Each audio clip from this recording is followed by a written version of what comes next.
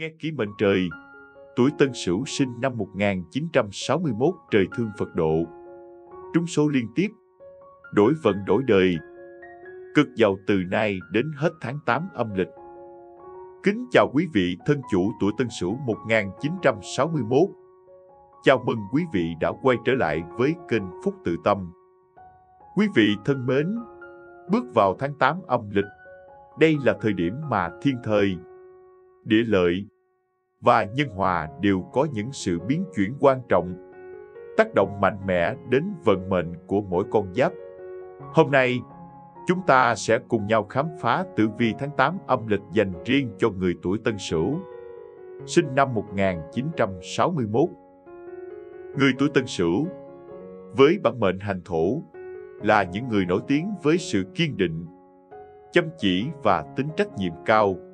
Trong cuộc sống, quý vị luôn giữ vững tinh thần trách nhiệm, sự cần cù và tinh thần mạnh mẽ để đối mặt với mọi khó khăn.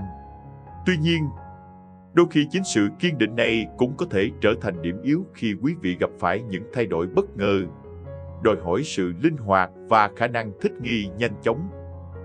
Tháng 8 âm lịch này với những biến động về sao chiếu mệnh và sự chuyển dịch của các yếu tố phong thủy, sẽ mang lại không ít thách thức nhưng cũng đồng thời mở ra nhiều cơ hội cho quý vị. Đây là thời điểm quý vị cần xem xét lại các khía cạnh trong cuộc sống của mình. Từ sự nghiệp, tài lộc, sức khỏe đến tình duyên và gia đạo, để có thể đưa ra những quyết định đúng đắn, đạt được sự cân bằng và ổn định. Trong video hôm nay, Chúng ta sẽ cùng phân tích chi tiết từng khía cạnh này, từ đó đưa ra những lời khuyên hữu ích giúp quý cô bác không chỉ vượt qua mọi thử thách mà còn tận dụng tối đa những cơ hội đang chờ đón trong tháng 8 âm lịch này. Hãy chuẩn bị sẵn sàng để đón nhận những thông tin quý giá và đừng quên rằng, sự chuẩn bị kỹ lưỡng chính là chìa khóa giúp quý vị đạt được thành công và hạnh phúc trong cuộc sống. Xin mời quý vị cùng chú ý theo dõi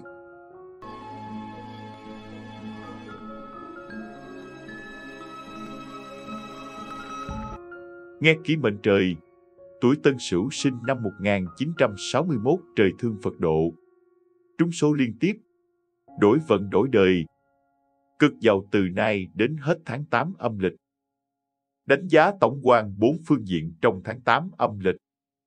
Theo tư vi khoa học, tháng 8 âm lịch mang đến nhiều chuyển biến đáng kể cho người tuổi Tân Sửu, với cả thách thức và cơ hội đang xen. Là người nổi tiếng với sự kiên định, chăm chỉ và tinh thần trách nhiệm cao. Tuổi Tân Sửu thường được tin tưởng và đánh giá cao trong các mối quan hệ công việc cũng như cuộc sống. Tuy nhiên, chính sự kiên định đôi khi khiến quý vị trở nên bảo thủ, khó linh hoạt trước những thay đổi bất ngờ. Điều này có thể gây ra những khó khăn nhất định trong tháng này. Tuy nhiên, nếu biết cách điều chỉnh và tiếp cận các tình huống mới với một thái độ cởi mở hơn quý vị hoàn toàn có thể tận dụng những tiềm năng lớn mà tháng 8 âm lịch mang lại. Trong tháng này, người tuổi Tân Sửu cần chú trọng đến bốn phương diện chính trong cuộc sống: sự nghiệp, tài lộc, sức khỏe và tình duyên gia đạo. Chúng ta sẽ cùng nhau đi sâu vào từng phương diện để hiểu rõ hơn về những gì quý vị có thể đối mặt và cần làm gì để đạt được sự cân bằng và thành công. Một Cụ thể về phương diện sự nghiệp, trong tháng 8 âm lịch này, sự nghiệp của quý vị có khả năng sẽ gặp một vài thử thách đáng kể. Những thay đổi trong môi trường làm việc, công việc hoặc dự án có thể khiến quý vị cảm thấy áp lực. Đặc biệt nếu quý vị chưa chuẩn bị kỹ càng để đối phó. Thay vì dựa vào lối mòn và sự an toàn mà mình đã quen thuộc, quý vị sẽ cần phải mở lòng hơn với những ý tưởng mới phương pháp mới và đôi khi là những quyết định táo bạo. Thực tế, sự linh hoạt sẽ là chìa khóa để vượt qua những trở ngại trong công việc. Thay vì bảo thủ với những quan điểm cũ, hãy học cách lắng nghe và xem xét các phương án khác nhau. Điều này không chỉ giúp quý vị dễ dàng thích nghi hơn với tình hình mới mà còn mở ra những cơ hội phát triển, thăng tiến Đừng ngại thử nghiệm những cách tiếp cận mới hoặc đưa ra những quyết định sáng tạo. vì tháng này, khả năng lãnh đạo và sự đổi mới của quý vị sẽ được đánh giá cao. Tuy nhiên, cùng với những cơ hội, sự nghiệp của quý vị cũng có thể đối mặt với những nguy cơ quá tải. Khối lượng công việc có thể gia tăng, đòi hỏi quý vị phải biết cách quản lý thời gian hiệu quả. Một kế hoạch làm việc cụ thể, kỷ luật và biết ưu tiên những công việc quan trọng sẽ giúp quý vị không bị ngập trong công việc và vẫn giữ được sự tỉnh táo, sáng suốt để đưa ra những quyết định đúng đắn. 2. Phương diện tài lộc Về mặt tài chính, tháng 8 âm lịch hứa hẹn mang lại nhiều cơ hội tốt cho người tuổi tân sửu. Các nguồn thu nhập có thể đến từ công việc chính, nhưng đồng thời, đây cũng là thời điểm mà các dự án phụ hoặc các khoản đầu tư nhỏ có khả năng mang lại nguồn thu không nhỏ. Tuy nhiên, việc quản lý tài chính vẫn luôn là yếu tố quan trọng hàng đầu. Quý vị cần cẩn trọng, không nên để sự lạc quan quá mức làm mất đi tính thận trọng trong việc quản lý tài chính. Mặc dù các cơ hội tài chính có thể xuất hiện, nhưng việc chi tiêu vô tội vạ hoặc tham gia các dự án đầu tư rủi ro mà chưa nghiên cứu kỹ càng có thể mang lại những hậu quả không mong muốn. Hãy luôn lập kế hoạch chi tiêu hợp lý, tính toán kỹ trước khi đầu tư và tránh những quyết định tài chính mang tính bốc đồng. Một lời khuyên nhỏ cho quý vị trong tháng này là nên dành một phần thu nhập để tiết kiệm hoặc đầu tư vào những lĩnh vực an toàn và có tính lâu dài. Các khoản đầu tư như tiết kiệm, bất động sản hoặc các lĩnh vực mà quý vị có kiến thức vững chắc sẽ giúp đảm bảo tài chính của quý vị luôn trong trạng thái ổn định, kể cả khi thị trường có biến động. 3. Phương diện sức khỏe Sức khỏe của người tuổi Tân Sửu trong tháng này là một khía cạnh cần được chú ý đặc biệt. Công việc bận rộn và những áp lực từ cuộc sống có thể khiến quý vị cảm thấy mệt mỏi và căng thẳng hơn bình thường. Những người tuổi Tân Sửu thường có xu hướng đổ dồn toàn bộ năng lượng vào công việc mà đôi khi quên mất việc chăm sóc bản thân. Điều này có thể dẫn đến tình trạng suy nhược cơ thể nếu không được quản lý tốt. Đặc biệt, hệ tiêu hóa của quý vị trong tháng này có thể gặp một số vấn đề nếu không chú ý đến chế độ ăn uống. Hãy đảm bảo rằng quý vị ăn uống đúng giờ, đầy đủ dinh dưỡng và tránh những thực phẩm không lành mạnh, dễ gây rối loạn tiêu hóa. Căng thẳng từ công việc cũng có thể ảnh hưởng đến giấc ngủ, gây ra tình trạng mất ngủ hoặc giấc ngủ không sâu. Vì vậy, ngoài chế độ ăn uống lành mạnh, quý vị cũng cần dành thời gian để nghỉ ngơi thư giãn và tái tạo năng lượng. Các hoạt động thể chất như đi bộ, tập yoga, thiền định sẽ giúp quý vị giảm bớt căng thẳng và duy trì sức khỏe tinh thần ổn định. Đừng quên rằng, một tinh thần khỏe mạnh sẽ giúp quý vị duy trì năng suất làm việc tốt hơn và đối phó với mọi thử thách một cách dễ dàng hơn. 4.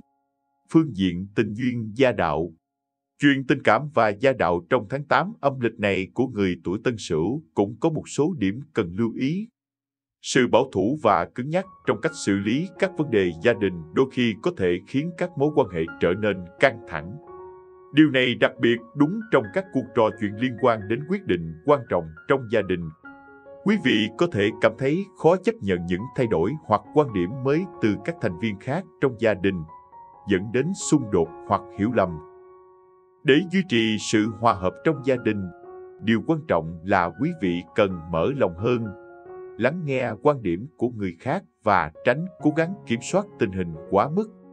Việc thấu hiểu và chia sẻ cảm xúc sẽ giúp quý vị dễ dàng hơn trong việc giải quyết các vấn đề gia đình và tránh những mâu thuẫn không đáng có. Đối với những người độc thân, tháng này cũng có thể mang đến một số cơ hội mới trong chuyện tình cảm quý vị có thể gặp được một người đặc biệt. Nhưng điều quan trọng là hãy đảm bảo rằng mình đã hiểu rõ về đối phương trước khi tiến tới mối quan hệ sâu sắc hơn. Đừng vội vàng trong tình yêu. Hãy để mọi thứ diễn ra tự nhiên và từ từ xây dựng mối quan hệ bền vững dựa trên sự thấu hiểu và tin tưởng lẫn nhau. Tiếp theo, Phúc Tự Tâm sẽ chia sẻ tử vi chi tiết từng tuần trong tháng 8 âm lịch. Thưa quý vị thân chủ tuổi Tân Sửu, trong tháng 8 âm lịch này, Mỗi tuần trôi qua sẽ mang đến cho quý vị những cơ hội và thách thức riêng biệt. Hiểu rõ những gì đang chờ đón mình trong từng giai đoạn sẽ giúp quý vị chuẩn bị tốt hơn. Nắm bắt những cơ hội quý giá và vượt qua những khó khăn một cách nhẹ nhàng hơn. Hãy cùng tôi đi sâu vào từng tuần trong tháng 8 âm lịch này để khám phá những gì vận mệnh đã sắp đặt cho quý vị. Tuần 1, từ mùng 1 đến ngày mùng 7 âm lịch. Tuần đầu tiên của tháng 8 âm lịch bắt đầu với một nguồn năng lượng mới mẻ và mạnh mẽ. Quý vị sẽ cảm thấy như được tiếp thêm sức mạnh, sẵn sàng đón nhận mọi thử thách và cơ hội mà cuộc sống mang lại. Đây là khoảng thời gian mà công việc của quý vị có thể khởi sắc với nhiều cơ hội mới. Đặc biệt nếu quý vị đang tìm kiếm sự thăng tiến hoặc mở rộng quy mô công việc. Trong tuần này, quý vị có thể sẽ nhận được những đề xuất hoặc dự án mới, đòi hỏi sự chú ý và quyết định nhanh chóng. Sự tự tin và tinh thần quyết đoán sẽ là yếu tố quan trọng giúp quý vị đưa ra những lựa chọn đúng đắn. Tuy nhiên, hãy nhớ rằng Mặc dù cơ hội đến với mình là rất đáng quý, nhưng việc cân nhắc kỹ lưỡng trước khi đưa ra bất kỳ quyết định quan trọng nào vẫn là điều cần thiết. Đôi khi, quá vội vàng có thể dẫn đến những sai lầm không đáng có, đặc biệt là trong các vấn đề liên quan đến tài chính và công việc. Về tài lộc, tuần này có những tín hiệu tích cực Quý vị có thể nhận được những khoản thu nhập bất ngờ từ công việc hiện tại hoặc từ các dự án phụ. Những cơ hội tài chính có thể xuất hiện, mang lại cho quý vị nguồn thu đáng kể.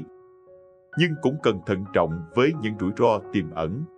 Hãy luôn giữ một cái đầu lạnh, không để sự phấn khích lấn át lý trí khi đối mặt với những cơ hội đầu tư. Sức khỏe trong tuần đầu tiên khá ổn định, nhưng không nên chủ quan với khối lượng công việc tăng cao, quý vị dễ rơi vào trạng thái làm việc quá sức nếu không biết cân đối thời gian nghỉ ngơi hợp lý. Đừng quên dành thời gian thư giãn, chăm sóc bản thân và đảm bảo giấc ngủ đầy đủ để cơ thể luôn sẵn sàng cho những thử thách tiếp theo. Lời khuyên, hãy tận dụng tối đa các cơ hội đến với mình, nhưng đồng thời cũng cần thận trọng trong mọi quyết định luôn giữ tinh thần tỉnh táo và cân nhắc kỹ lưỡng để tránh những sai lầm không đáng có. Tuần 2, từ ngày 8 đến ngày 14 âm lịch. Bước sang tuần thứ hai, quý vị có thể cảm nhận được những thay đổi rõ rệt trong công việc. Đây là thời điểm mà sự hợp tác với đồng nghiệp hoặc cấp trên trở nên quan trọng hơn bao giờ hết. Tuy nhiên, không phải lúc nào sự hợp tác cũng suôn sẻ. Sự khác biệt trong quan điểm phong cách làm việc có thể dẫn đến những mâu thuẫn nhỏ, gây ra một số căng thẳng. Trong tuần này, điều quan trọng là quý vị phải giữ được sự bình tĩnh và kiên nhẫn. Hãy lắng nghe quan điểm của người khác, đồng thời thể hiện ý kiến của mình một cách khéo léo và lịch sự. Việc giữ vững lập trường nhưng đồng thời cũng linh hoạt trong cách xử lý tình huống sẽ giúp quý vị vượt qua những khó khăn này mà không gây ra xung đột lớn. Về mặt tài chính, tuần thứ hai cũng mang đến những cơ hội mới, nhưng đi kèm với nó là những rủi ro tiềm ẩn. Đặc biệt, quý vị cần cẩn trọng với những quyết định tài chính, tránh xa những dự án đầu tư có mức độ rủi ro cao. Hãy nhớ rằng, không phải tất cả những gì lấp lánh đều là vàng. Việc bảo toàn vốn và đầu tư một cách an toàn sẽ giúp quý vị duy trì sự ổn định tài chính trong dài hạn sức khỏe trong tuần này cần được chú ý, đặc biệt là hệ tiêu hóa. Áp lực công việc và những lo lắng có thể ảnh hưởng tiêu cực đến sức khỏe của quý vị.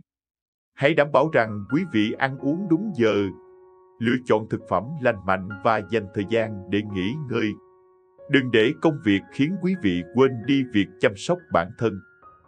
Lời khuyên, giữ bình tĩnh trong mọi tình huống và đừng để cảm xúc ảnh hưởng đến quyết định của bạn. Sự kiên nhẫn và khéo léo trong giao tiếp sẽ giúp quý vị duy trì sự hòa hợp trong công việc và gia đình. Tuần 3, từ ngày 15 đến ngày 21 âm lịch. Tuần thứ ba của tháng 8 âm lịch là thời điểm mà quý vị có thể bắt đầu thấy những nỗ lực trước đây của mình được đền đáp. Đây là khoảng thời gian thuận lợi để củng cố các mối quan hệ công việc Sự hỗ trợ từ đồng nghiệp và cấp trên sẽ là yếu tố quan trọng giúp quý vị vượt qua những khó khăn trước mắt và tiến gần hơn đến những mục tiêu mà mình đã đặt ra. Trong công việc, sự hợp tác và làm việc nhóm sẽ trở nên hiệu quả hơn, mang lại những kết quả tích cực.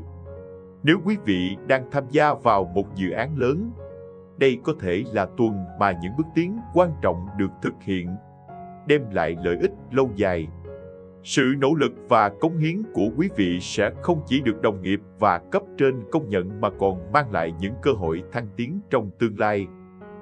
Về tài lộc, tuần này có dấu hiệu khởi sắc. Quý vị có thể nhận được những khoản thu nhập ngoài dự kiến hoặc hoàn thành một dự án mang lại lợi nhuận đáng kể. Đây cũng là lúc mà những quyết định tài chính thông minh sẽ được đền đáp, giúp quý vị cải thiện đáng kể tình hình tài chính của mình. Tuy nhiên, đừng quên chăm sóc sức khỏe, đặc biệt là về mặt tinh thần. Những áp lực từ công việc và cuộc sống có thể khiến quý vị cảm thấy mệt mỏi, căng thẳng. Hãy dành thời gian để thư giãn, thực hiện những hoạt động giúp giải tỏa căng thẳng như thiền, yoga hoặc đơn giản là dành thời gian cho gia đình và bạn bè. Về mặt tình cảm, tuần này tình cảm gia đình khá êm đềm.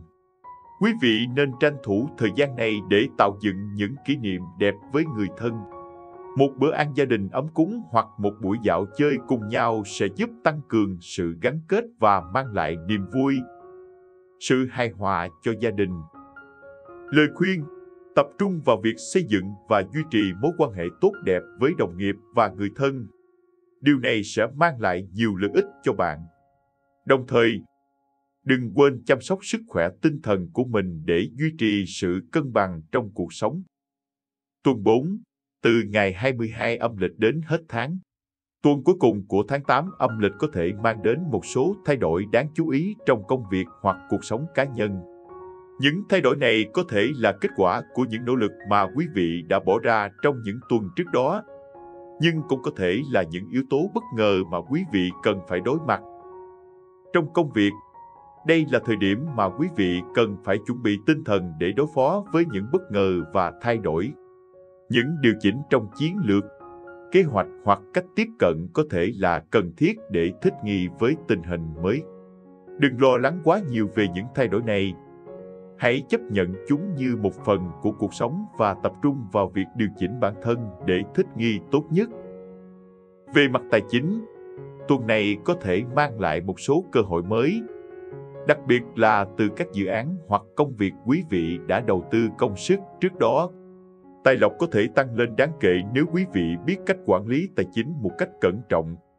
Tuy nhiên, hãy luôn nhớ rằng tài chính là một lĩnh vực đầy rủi ro vì vậy đừng bao giờ lơ là trong việc quản lý và bảo vệ nguồn thu của mình. Sức khỏe của quý vị trong tuần này vẫn cần được chăm sóc, đặc biệt là về mặt tinh thần. Căng thẳng và áp lực có thể làm suy giảm tinh thần. Vì vậy hãy dành thời gian nghỉ ngơi và tận hưởng những khoảnh khắc bình yên bên gia đình. Những hoạt động giải trí nhẹ nhàng những buổi trò chuyện thân mật với người thân sẽ giúp quý vị tái tạo năng lượng và chuẩn bị cho những thử thách mới. Về mặt tình cảm, quý vị có thể cảm thấy một số biến động nhỏ trong mối quan hệ với người thân. Nhưng nếu quý vị biết cách xử lý, những biến động này sẽ không gây ra quá nhiều ảnh hưởng tiêu cực. Hãy giữ cho mình một tâm lý thoải mái, cởi mở và sẵn sàng lắng nghe người khác để duy trì sự hòa hợp trong gia đình. Lời khuyên, đừng quá lo lắng về những thay đổi. Hãy chấp nhận chúng như một phần của cuộc sống và tập trung vào việc điều chỉnh bản thân để thích nghi tốt nhất. Luôn giữ cho mình một tinh thần lạc quan và sẵn sàng đối mặt với mọi thách thức. Vật phẩm phong thủy cho tân sửu phát tài phát lộc, tiền về tới tấp trong tháng 8 âm lịch. Thưa quý vị thân chủ tuổi tân sửu, trong thế giới phong thủy Việc lựa chọn và sử dụng đúng các vật phẩm phù hợp với mệnh và thời điểm không chỉ giúp tăng cường tài lộc mà còn mang lại sự bình an, thịnh vượng trong cuộc sống. Tháng 8 âm lịch này, với những biến động từ các sao chiếu mệnh và sự thay đổi của các yếu tố phong thủy, Việc sử dụng các vật phẩm phong thủy thuộc hành thổ và kim sẽ đặc biệt có lợi cho quý vị. Người tuổi Tân Sửu với mệnh thổ luôn có sự kết nối đặc biệt với các vật phẩm thuộc hành thổ và kim. Các loại đá phong thủy như thạch anh trắng, mã não vàng hay đá mắt hổ sẽ giúp quý vị không chỉ thu hút năng lượng tích cực mà còn bảo vệ, cân bằng và ổn định cuộc sống cả về mặt tinh thần lẫn vật chất. Bên cạnh đó, việc sử dụng các chậu cây phong thủy nhỏ như cây lưỡi hổ, sen đá trong không gian sống hoặc làm việc cũng sẽ tạo ra môi trường thuận lợi cho sự phát triển và thịnh vượng. Một, Đá phong thủy bảo vệ và thu hút năng lượng tích cực. Đá phong thủy từ lâu đã được coi là công cụ mạnh mẽ trong việc cân bằng năng lượng, bảo vệ và thu hút tài lộc.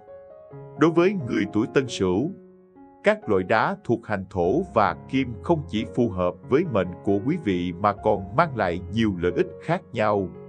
Thạch anh trắng Thạch anh trắng là loại đá có tác dụng thanh lọc năng lượng, mang lại sự minh mẫn và sáng suốt. Đặc biệt, thạch anh trắng còn giúp tăng cường khả năng tập trung, giảm căng thẳng và hỗ trợ giấc ngủ. Đối với người tuổi Tân Sửu, Việc đặt một viên thạch anh trắng trên bàn làm việc hoặc trong phòng ngủ sẽ giúp quý vị có một tinh thần tỉnh táo, thoải mái, từ đó đưa ra những quyết định chính xác hơn trong công việc và cuộc sống. Mã não vàng Mã não vàng tượng trưng cho sự giàu có, thịnh vượng và trường thọ.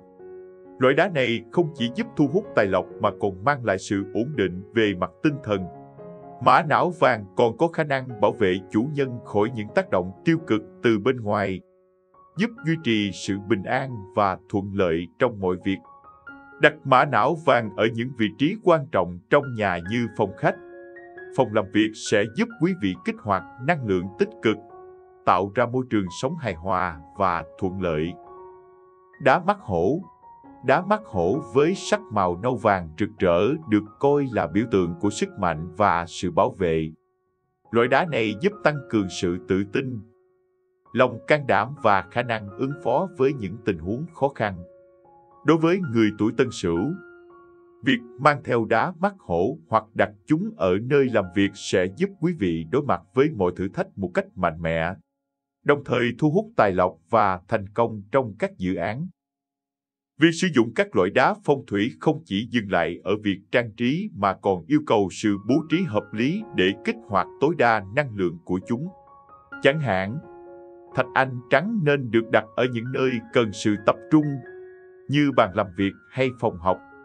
Trong khi đó, mã não vàng và đá mắt hổ có thể đặt ở phòng khách hoặc phòng làm việc để thu hút tài lộc và bảo vệ ngôi nhà khỏi những năng lượng xấu. 2. Cây phong thủy tạo sinh khí và sự thịnh vượng.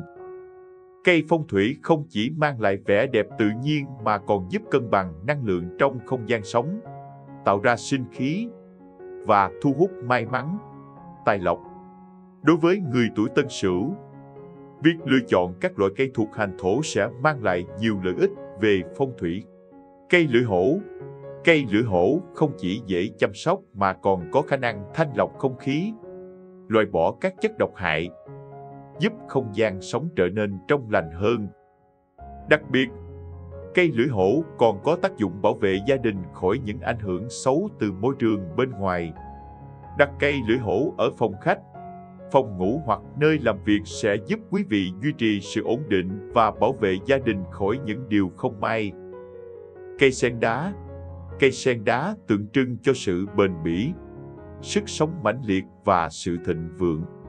Loại cây này không chỉ mang lại cảm giác tươi mới, gần gũi với thiên nhiên mà còn giúp thu hút tài lộc, may mắn. Đặt cây sen đá ở bàn làm việc, trên cửa sổ hay ở bất kỳ nơi nào có ánh sáng tự nhiên sẽ giúp kích hoạt năng lượng tích cực, mang lại sự thịnh vượng và thành công trong công việc.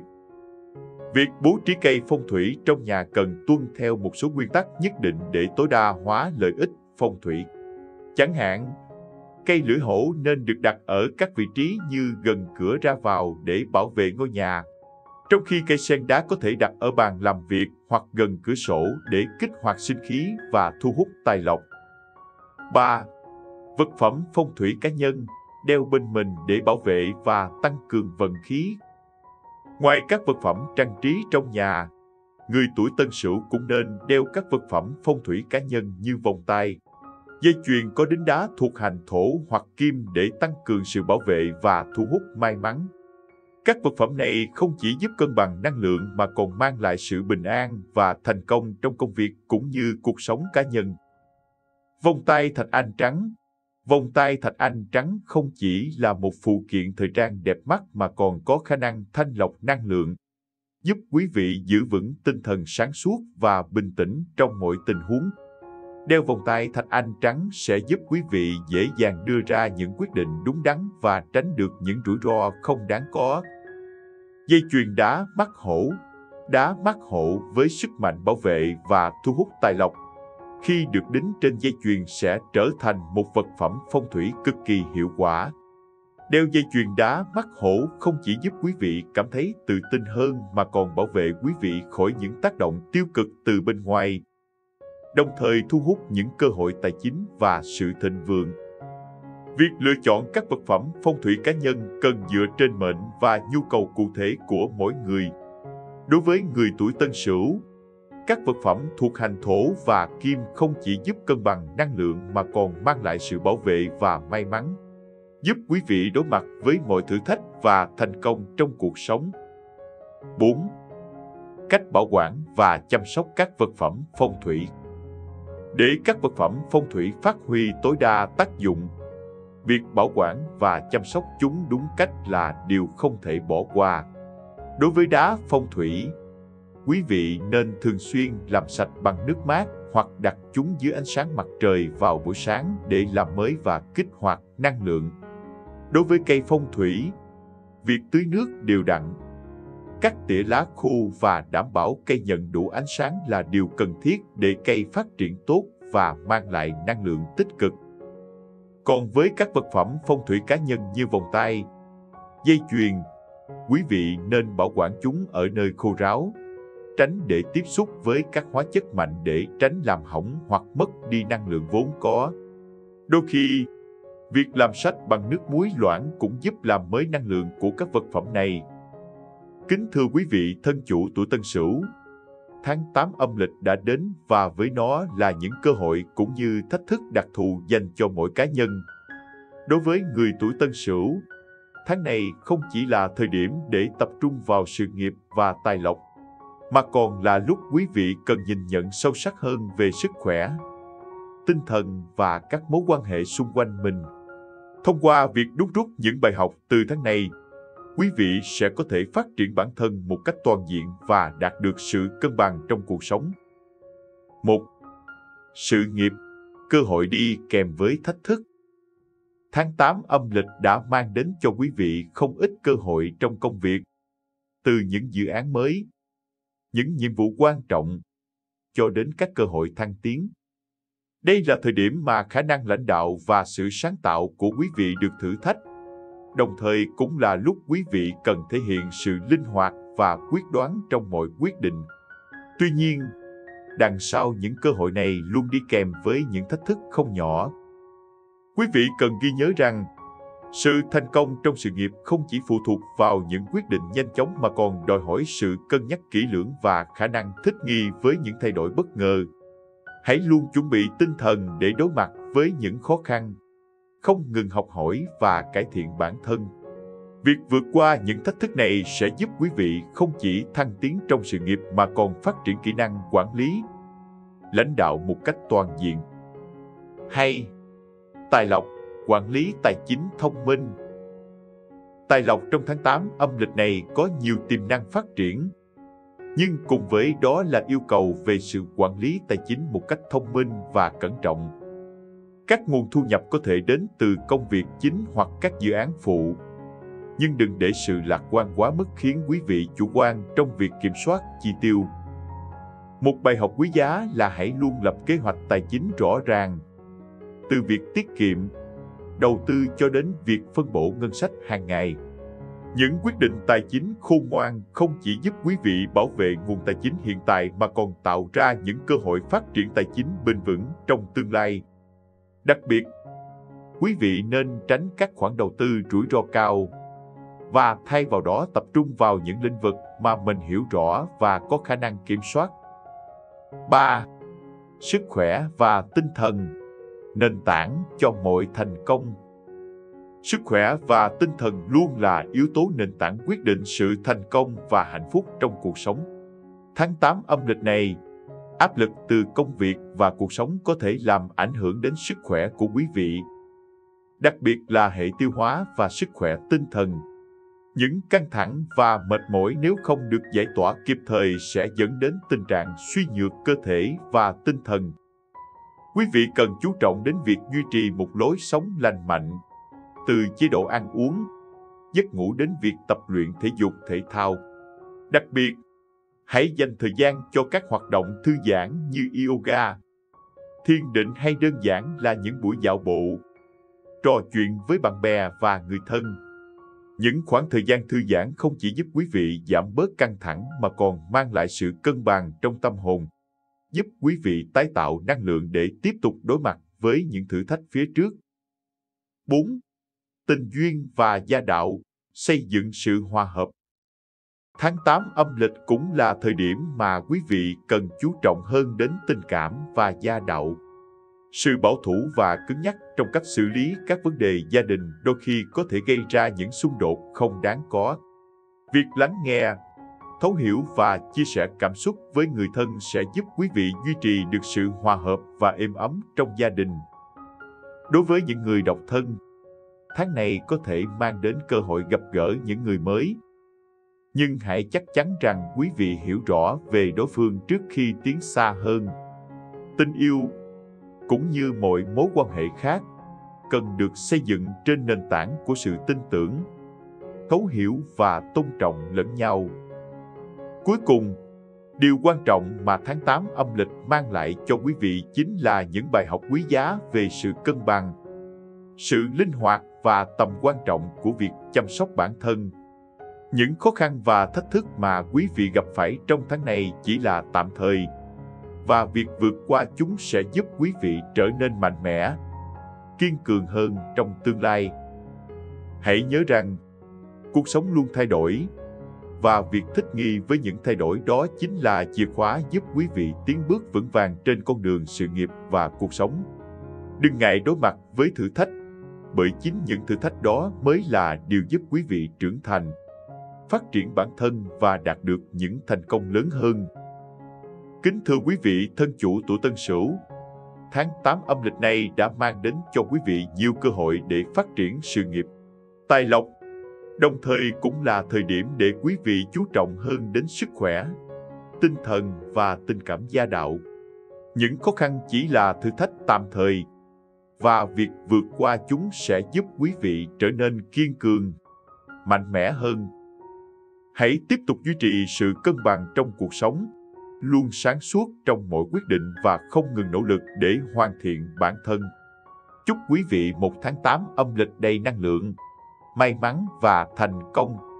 Hãy đón nhận mọi thách thức như một phần tất yếu của cuộc sống và biến chúng thành cơ hội để quý vị phát triển và thăng hoa. Kính thưa quý vị thân chủ tuổi Tân Sửu 1961, Tôi rất vinh hạnh khi quý vị đã dành thời gian theo dõi tử vi tháng 8 âm lịch trên kênh Phúc Tự Tâm. Tháng 8 âm lịch này, như quý vị đã thấy, là thời điểm quan trọng với nhiều biến chuyển lớn trong cả sự nghiệp, tài lộc, sức khỏe và tình cảm. Hy vọng rằng những thông tin mà tôi đã chia sẻ sẽ giúp quý vị không chỉ hiểu rõ hơn về vận mệnh của mình mà còn biết cách tận dụng tối đa các cơ hội và vượt qua những thách thức đang chờ đón. Cuộc sống luôn đặt ra những thử thách, nhưng điều quan trọng nhất là chúng ta biết cách đối mặt và biến chúng thành cơ hội để phát triển bản thân. Hãy bước vào tháng mới với tâm thế lạc quan, tự tin và sẵn sàng đón nhận mọi điều mới mẻ. Tôi tin rằng, với sự kiên định, sáng suốt và lòng quyết tâm, quý vị sẽ có một tháng 8 âm lịch đầy thành công và hạnh phúc. Nếu quý vị thấy video này hữu ích, hãy dành một chút thời gian nhấn like, chia sẻ video với bạn bè và người thân để nhiều người hơn có thể tiếp cận những thông tin quý báu này. Hành động nhỏ này của quý vị sẽ không chỉ giúp lan tỏa kiến thức về phong thủy và tử vi mà còn là nguồn động viên rất lớn để tôi tiếp tục cống hiến và mang đến những video chất lượng hơn nữa. Đồng thời, nếu quý vị chưa đăng ký kênh, xin hãy nhấn vào nút đăng ký ngay bây giờ và bật chuông thông báo để không bỏ lỡ bất kỳ video tử vi hay phong thủy nào từ Phúc Tự Tâm. Mỗi tuần, chúng tôi sẽ liên tục cập nhật những thông tin mới nhất, giúp quý vị luôn có sự chuẩn bị tốt nhất cho mọi khía cạnh của cuộc sống. Một lần nữa, tôi xin chân thành cảm ơn quý vị đã luôn tin tưởng và đồng hành cùng kênh Phúc Tự Tâm. Chúc quý vị một tháng 8 âm lịch an khang, thịnh vượng và tràn đầy niềm vui. Hãy luôn nhớ rằng, mỗi ngày mới là một cơ hội để chúng ta sống tốt hơn, hạnh phúc hơn và thành công hơn. Hẹn gặp lại quý vị trong những video tiếp theo.